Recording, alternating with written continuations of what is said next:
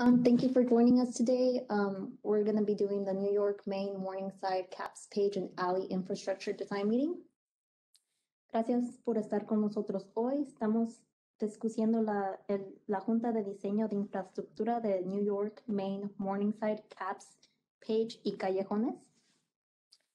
Favor de escribir sus preguntas en la sección de comentarios. Al terminar la presentación se contestarán esas preguntas primero Luego se responderán las preguntas de quienes llamaron por teléfono una a la vez. La presentación está siendo grabada.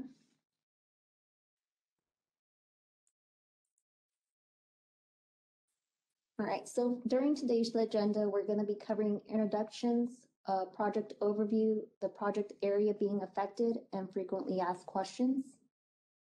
Durante la agenda de hoy vamos a cubrir las presentaciones, descripción del proyecto, área del proyecto y preguntas frecuentes. Your design project team includes myself, Brenda Oropesa. I am the project manager. My phone number is 817-392-8271, and my email is brenda.oropesa at fortworthtexas.gov. Our engineering design consultant is Moss Civil Engineers, um, consisting of Angel Sanchez and Omar Cereceres that are working on this project. El equipo de, diseño del proyecto incluye a la gerente del proyecto que soy yo, Brenda Oropesa. Mi número de teléfono es 817-392-8271. Mi correo electrónico es brenda.oropesa.fortworthtexas.gov. El consultor de ingeniería de diseño es Mass Engineers, consistiendo de Ángel Sánchez y Omar Cereceres. So project overview. This project is in council districts eight and nine. We will be rehabilitating both water and mains on both sides of I-35. This construction will impact the Morningside, United Community, South Hemphill Heights, Ryan Place improvements, and Fairmount neighborhood associations. The project area is bound by East Arlington Avenue to the north, New York Avenue to the east, West Cantey Street to the south, and College Avenue to the west. Una descripción general del proyecto. El proyecto cubre partes de los distritos municipales 8 y 9. Se rehabilitarán las actuales tuberías de agua y drenaje sanitario en ambos lados del Interstatal 35 Oeste. La construcción afectará los vecindarios Morningside, United Communities, South Hemphill Heights, Ryan Place Improvements y Fairmont.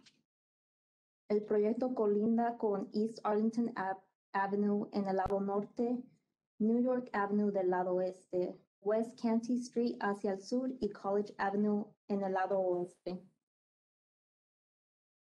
Here we have an overview map on, of one of the project areas being affected.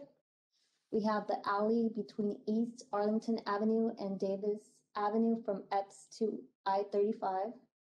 We're going to be doing the sanitary sewer replacement the alley between East Jessamine and Atlanta Street from Epps to I-35. That's sanitary sewer replacement. The alley between East Morningside Drive and Ramsey Street from 50 feet east of Stewart Drive to 43 feet west of Jones Street. That's this area right here, we're going to be replacing the sanitary sewer there. Um, the Senate, the I-35 service road from 130 feet north of East Mulkey Street to 147 feet north of East Jessamine Street. We're going to be doing water and sanitary sewer replacement in this area. Este es un mapa enseñando una de las áreas que vamos a estar um, trabajando en. Aquí tenemos el callejón entre East Arlington Avenue y Davis Avenue, de Epps Avenue al 35, el callejón entre East Jessamine Street y Atlanta Street, desde Epps Avenue al 35. Y estos dos son, ah, vamos a estar reemplazando las líneas de drenaje. El callejón entre East Morningside Drive y Ramsey Avenue desde 57 pies al este de Stewart Drive hasta 43 pies al oeste del Jones Street. Y esta va a ser también reemplazo de pipa de, de drenaje. Y la vía de acceso del 35, 130 pies al norte de East Smoky Street hasta East Jessamine Street. Vamos a reemplazar el agua y pipa de, de drenaje. Um, this is just a continuation of the areas being affected on this map. We have the alley between Marion Avenue and Ramsey Avenue from I, the I-35 Service Road to 82 feet west of Evans Avenue. The alley between Marion and East Mulkey Street from 48 feet east of Evans Avenue to 480 feet west of New York Avenue. That's the sanitary sewer re- replacement. Um, then we have New York Avenue from 150 feet south of Marion Street to 123 feet north of East Roberts Avenue. And that's sanitary sewer. Este mapa es una continuación de las áreas que vamos a estar afectando. Tenemos el callejón entre Marion Avenue y Ramsey Avenue desde el- la vía de servicio del 35 hasta el oeste de Evans y vamos a estar reemplazando la pipa de drenaje. El callejón entre Marion Avenue y Mulkey Street, esta área de aquí, y de New York Avenue desde 150 pies al sur de Marion Avenue a 123 pies al norte de East Robert Street. Y es, um, vamos a estar reemplazando la pipa de drenaje ahí. So this is on the west of 35. This is the area being affected. Um, we have the alley between College Avenue and Alston Avenue from Lilac Street to Hawthorne Avenue, sanitary sewer replacement. The alley between Lipscomb Street and Hemphill Street from West Jessamine to 650 feet northeast of West Capps, this area right here, and we're going to be doing a sanitary sewer replacement. Um, Page Avenue from 180 feet east of Lipscomb to 354 west of South Jennings Avenue. That's the sanitary sewer replacement. Uh, West, Capps Street from Hemphill to 312 feet west of South Jennings, and that's the sanitary sewer replacement. En este mapa se está enseñando la área al oeste del 35. Tenemos el callejón entre College Avenue y Alston Avenue de Hawthorne Avenue a Lilac. Y vamos a reemplazar la pipa de, de drenaje aquí. El callejón entre Lipscomb Street y Hempfield Street desde West Jessamine Street a 615 pies al noreste de West Cap Street, que sería esta área de aquí.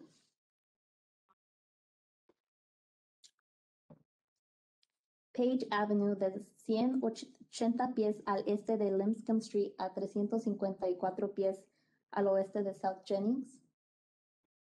Esta área de aquí.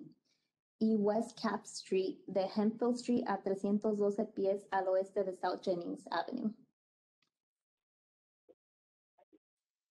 All right, here's the last slide of the areas we haven't covered yet on this map. We have the alley between Hemphill Street and South Jennings Avenue from 93 feet south of West Mulkey Street to West Capps Street. This is a sanitary sewer replacement. Alley between South Jennings Street and May Street from West Capps Street to 154 feet north of West Cantey Street. This area right here, sanitary sewer replacement. Um, West Morningside Drive from 161 feet east of South Jennings Street to St. Louis Avenue. That's the sewer replacement, and we're also going to be doing a water replacement from May Street to St. Louis Street. This area right there. And South Main Street from 152 south of West Ramsey Street to the traffic circle.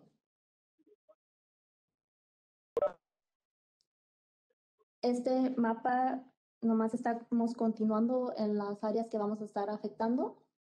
Tenemos el callejón entre Hemphill Street y South Jennings Avenue, 93 pies al sur de West Mulkey Street a West Caps. Vamos a estar reemplazando la pipa de drenaje. el callejón entre South Jennings y May Street. Vamos a estar reemplazando el área de drenaje de West Caps a West Canty. West Morningside, 161 pies al este south de South Jennings Avenue a St. Louis Street. Vamos a estar reemplazando la pipa de drenaje y la pipa de agua de Main Street a St. Louis Street. Y South Main Street, South Main 152 pies al sur de West Ramsey Avenue a la rotunda. So what streets will have construction in the streets? Um, West Morningside Drive from just west of May Street to just west of St. Louis Street. And that was this area right here. I-35 Service Road between Mulkey Street and northeast, north of East Jessamine Street. This area right here. New York Avenue between Marion Avenue and East Robert Street. That's this area right here. South Main between West Morningside Drive and north of Page Street. This area right here. West Capps Street at Hemphill Street Crossing. That's this area right here. Page Avenue from just west of the BNSF Railroad to just west of Lipscomb Street. This area right here. Um, we will have a traffic control plan, which will include lane closures when, before we go to construction. We will be holding a meeting prior to construction and we'll have that information available. ¿En qué áreas se realizarán las, las labores de construcción en las calles? Tenemos West Morningside justo al oeste de May, al oeste de St. Louis, que sería área de aquí. La carretera lateral al 35 de Moki hacia el norte y East Jessamine, que sería esta área de aquí. New York entre Marion y East Roberts, esta área de aquí. South Main entre West Morningside y hacia el norte de Page, que sería esta área de aquí. En el crucero de West Caps y Hemphill, que sería esta área de aquí. Y Page del oeste del ferrocarril BSNF al oeste de Limpscomb, que sería esta área de aquí. Habrá un plan para el control del, del tráfico cuando estemos más cerca a la construcción. Este incluirá las calles de carriles durante los labores de construcción, los cierros de carriles. So will you need access to our property? Construction will be in the street and in alleys. Some construction will require that the city acquire easements.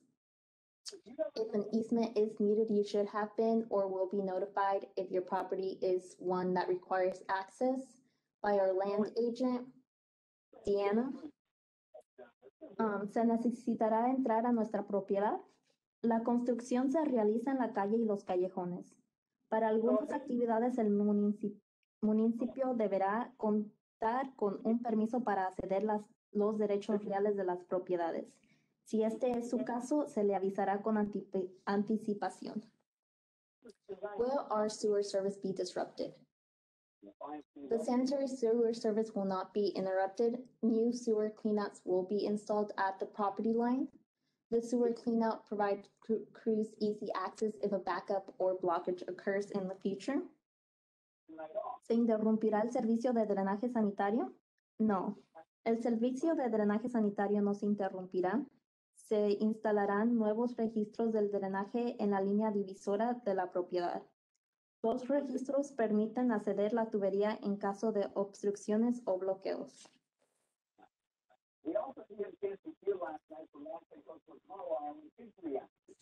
Will our water be turned off? Water will be turned off for about 15 to 30 minutes when services are being transferred from the existing line to a temporary water line and whenever we transfer the service from the temporary water line back to the new water line. Se cortará el servicio de agua. El agua se cortará unos 15 a 30 minutos al transferirse el servicio de la actual tubería a la tubería temporal. Asimismo, al transferir el servicio de la tubería temporal a la tubería nueva. What happens if my property is damaged? The contractor will take photos and video of the property before breaking ground, so prior to beginning construction. We also encourage property owners to take pictures and video of their property before construction starts. The contractor will restore the property to its original condition. ¿Qué pasa si mi propiedad resulta dañada? El contratista tomará fotografías y video de las propiedades antes de comenzar los labores de construcción. Ani- Animamos a los propietarios también tomar fotografías y video antes de que comiencen los labores de construcción. El contratista debe restaurar las propiedades a su estado original. Will the construction affect my irrigation? So the contractor will ask property owners to turn on their irrigation systems so the sprinkler heads can be located and flagged. The contractor has to cap irrigation lines before construction starts. The contractor will replace capped or damaged irrigation systems. La construcción afectará mi siste- sistema de riego. Antes de iniciar la construcción, se le pedirá encender el sistema de riego para ubicar y marcar las cabecillas de los rociadores.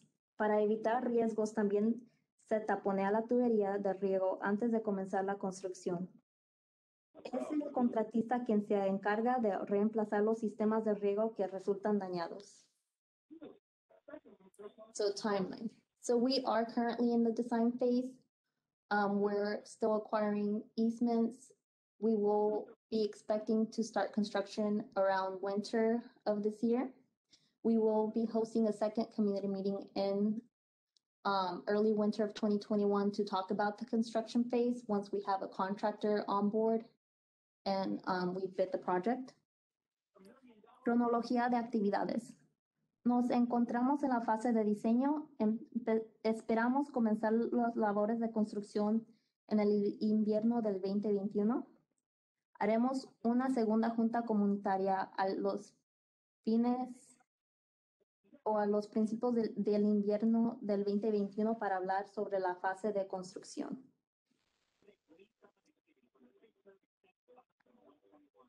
Where can I get more information?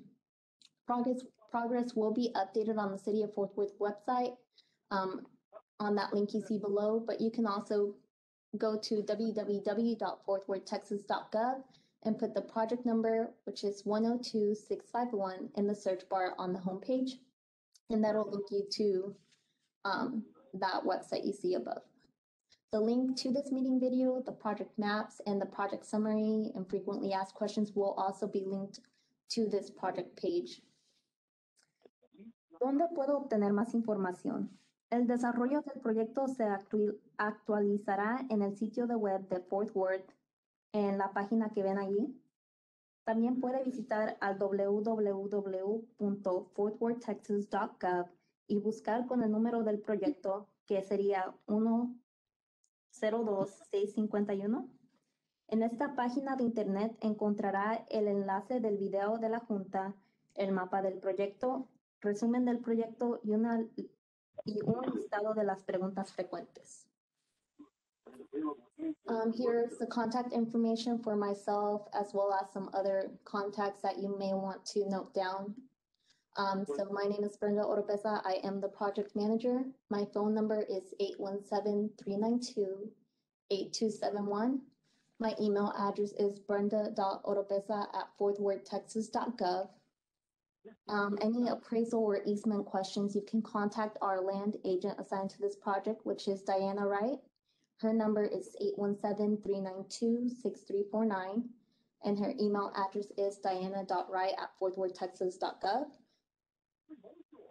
If you need to report any emergency breaks, um, water main breaks or backups, you can do so 24 hours a day at 817-392-4477 and select option one. Or our non-emergency call center is um, active from seven AM to seven PM, Monday to Friday at 817-392-4477. And they are closed city holidays. Um, Ah, para los contactos, aquí están más unos números que a lo mejor quiere apuntar. Mi nombre es Brenda Oropesa, soy la gerente del proyecto. Mi número es 817-392-8271. Mi correo electrónico es brenda.oropesa arroba fortworthtexas.gov. Si tienen preguntas sobre los ava- avalúos de propie- propiedades, derechos reales, la gente que está designada a nuestro proyecto es, la agente de terrenos es Deanna Wright. Su número de teléfono es 817-392-6349. Y su correo electrónico es diana.wright a- arroba fortworthtexas.gov. Si necesita reportar una emergencia de agua o ruptura de tubería, ah, puede hacerlo 24 horas al día en el número, el número es 817-392-4477. Seleccione la opción 1 y el centro de llamadas que no sea de emergencias está abierto de 7 a 7 lunes a viernes y cerrado los días festivos. El número es 817-392-4477. Thank you. Gracias. I'll hand it over to Sally so she can um, go through the questions that have been asked. Thank you, Brenda. So far, we don't have anything in chat. We're going to give Brenda a breather here for just a second. Um, I, I believe we told you the meeting was recorded, and Brenda already said that the, um, the video link to the meeting will be on the project page. We will also, I'll also email that video link and the project summary, which will be in Spanish and English, to the board members of the neighborhood associations who are in this area. And if you don't know this already, this project is in Fort Worth Council District Eight, which is represented by Councilmember Kelly Allen Gray and her District Director, Mary Beth Ashley. It's also in Council District Nine, which is represented by. Councilmember Ann Zadeh and her District Director, Catherine Smith. Okay, we don't have any questions in chat. Do any of our call-in users have questions? I think I saw South Hemphill Heights on the caller list.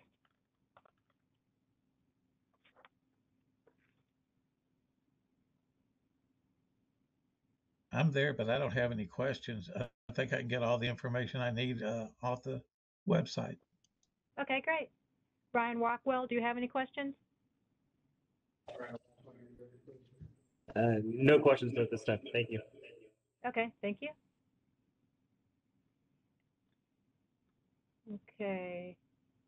Jason Manning, do you want to say hi?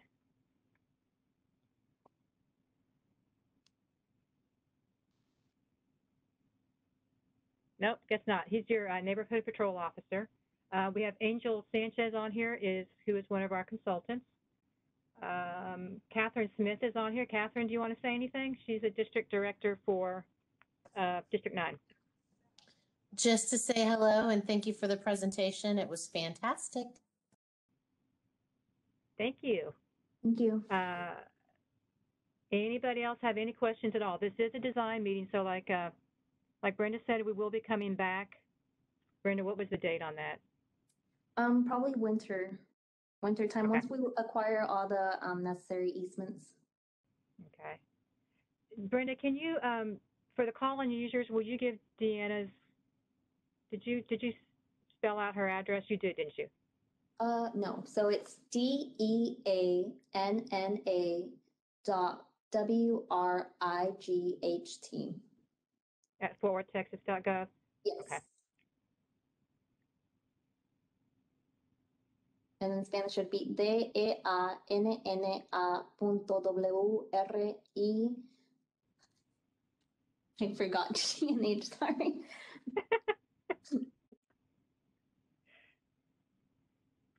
So there's no questions at all, at all about this project?